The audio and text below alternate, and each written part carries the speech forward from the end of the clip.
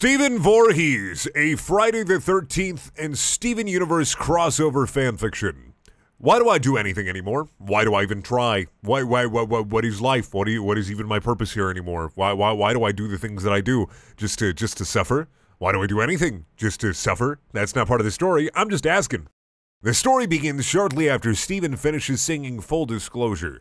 On the way back to the temple, Steven comes across debris from the gem warship and begins crafting weapons and a mask from it, then puts them all in a handbag. Alright. Later, when Connie demands that Steven look her in the eye and tell her he doesn't want to hang out anymore, he dons the mask and pulls out the machete he made, then jumps out and stabs Connie in the abdomen, then tells her we won't be. Alright. Um, I, I, I, alright. Later, Steven raids a boiler factory, kills a kills a worker, and steals his outfit. I I I I, I okay. I why does he do the things that he does? I, I mean, this is this is this is a problem in a, a lot of writing and not just fan fiction itself. But what is the the motivation of our character here? Is he just killing because he sang a song and it's going a different route with the story? I don't I don't remember the episode where he sings full disclosures, so I wonder if he's particularly uh, particularly edgy after it. But um, I all right, I, I I I guess I'll just go with the flow here. Back at the temple, Steven manipulates his age to an adult, shaves his head, and dons the outfit and mask, dubbing himself Steven Voorhees after infamous serial killer Jason Voorhees. Okay, so Jason Voorhees is a real person in this Steven Universe extended universe. Steven's universe has Jason Voorhees in it. So now in Steven's universe, he is J- Steven Voorhees. I, I mean, Jason Voorhees is just called Jason Voorhees because that's like his last name.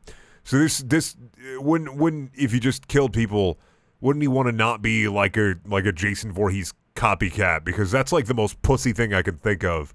For any real life serial killer to try to like emulate Jason Voorhees, uh, uh, an essentially undead serial killer, that's just that's just like pussy shit. That's like your 400 pound neighbor grabbing a machete and an overcoat and a fucking uh, Jason Voorhees hockey mask, running around and trying to kill people and go just just constantly getting out of breath. I uh, I I think that's just the lamest shit ever. Really, honestly, it just it, wow, what a I didn't know Steven was such a pussy. Right about then, Greg, after calming down from his panic attack earlier, rides in looking for Steven. Just then, Steven heads down, impales Greg with the spear he made, then disappears into the shadows. Why why does he kill his dad? Why? why? Why? Why? Why? Why? There, there, there's no purpose here. This is just this is like a list. Like I'm reading a list of things that Steven could do if Steven was an utter sociopath and psychopath. I. All right, he then disappears into the shadows. A few days later, as Steven and the Gems are working on clearing the debris of the Gem warship, Steven spots the Cool Kids walking up. Is that their official name?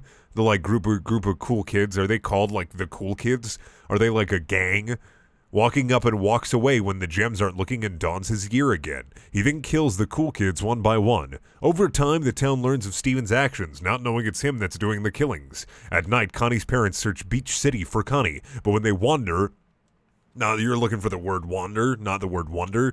Towards the part of the beach where the temple is, they find Connie, Greg, and the cool kid's head spiked on a wheel. Then Steven walks up to them in his gear and impales them both on the broadsword he made. Really think like the gems wouldn't notice the, the series of impaled heads near their beach home? Really think the townspeople at Beach City wouldn't notice the, the series of impaled heads near their beach home?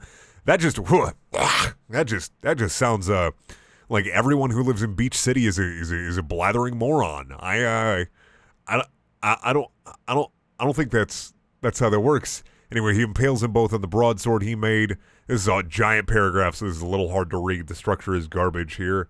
After several months, Beach City becomes a ghost town, and the Gems begin to suspect something is wrong. And Steven tells them, This is a good lesson to the human race. My name is not important, but what is important is what I'm going to do. I just fucking hate Beach City. That's that's okay. Steven is a Steven is a, is a high level edge lord. This is a this is awful. This is an awful piece of writing. Pearl begins to think that Steven did the killings, but then realizes that he could couldn't have done it. So the gems suspect Peridot did the killings. However, Amethyst slips on a lever, and the gems fall through a hidden door and find a lair beneath the house containing the bodies of Steven's victims.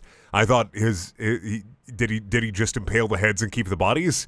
In the house, Steven realizes the gems have seen too much, and wouldn't if they like fell fell through a trapdoor and a hidden lever, wouldn't they end up in like the bubble room? I don't know. I don't know. I don't know, writer. I don't know, author. If you're thinking about the general blueprint of the Stevens universe, universe house, I don't know. If, I don't know if you're paying attention to the uh, the the lore of Steven's universe. I don't know if it's uh, it's hitting you. You know, I I think you're just kind of writing garbage. But I'm I'm honestly not surprised. So you know what? You you keep you keep writing garbage. Get better. In the house, Steven realizes the gems have seen too much and dons his gear after manipulating his age again. He jumps down into the lair and attempts to kill the gems for snooping on his personal work. The gems put up a good fight, but Steven overwhelms them. Before he can kill them, however, Pearl impales Steven in the chest with her with, with, with, with her spear, and his mask falls off, revealing his true identity, much to the shock of the gems. Pearl wonders why Steven would do this, but Garnet isn't surprised as she realizes that Steven just wanted to keep humans away from the area to protect them. Really? No. That's not something Steven would do. I he wouldn't he wouldn't commit mass murder to protect the gems because the the whole goal of the gems to my knowledge is that they're there to protect humanity and the earth from the gems. So why why would Steven Steven's universe do such an incredibly like stupid out of character thing? Oh, I know, I have the answer because this is a garbage fan fiction. But it was a misguided attempt. Amethyst says they can protect humanity without him. Pearl says Rose Quartz would be disappointed. Garnet says Steven was a good kid for a time. The gems then leave the lair and warp to the kindergarten to look for Peridot. Let's get on to the review. I feel like this is one of those ideas that you can't completely convey without a lot of setup. If you want to, if you want to portray a character that's not a known sociopath as a sociopath, you have to first, in my, in my opinion, of course, you have to break their character. You have to take the character that has been set up and you have to slowly break it. You you introduce a couple chapters and you introduce heartache. Uh, the the road to a villain, and this is of course my opinion, isn't this fast thing. I mean, of course it can be. Anything is possible. But the road to to becoming a villain is usually paved with little concessions. Little concession here, little concession there as you're trying to do what you think is right. Most really good villains are villains not that are just, I'm evil, blah, but are villains that are just misguided. They have their own goals, they have their own ambitions. A lot of villains that I really like are villains that think they are doing good they don't or, or or they're doing it for selfish reasons uh, but they but that that that you can't you can't just go, Steven Universe, pick up a machete, and then he kills some guys. Because that's what this story boils down to. And I'm going to give this story a 4 out of 10. Just kidding. Actually, a negative 4 out of 10. I tricked you, fooled you. Thank you for watching.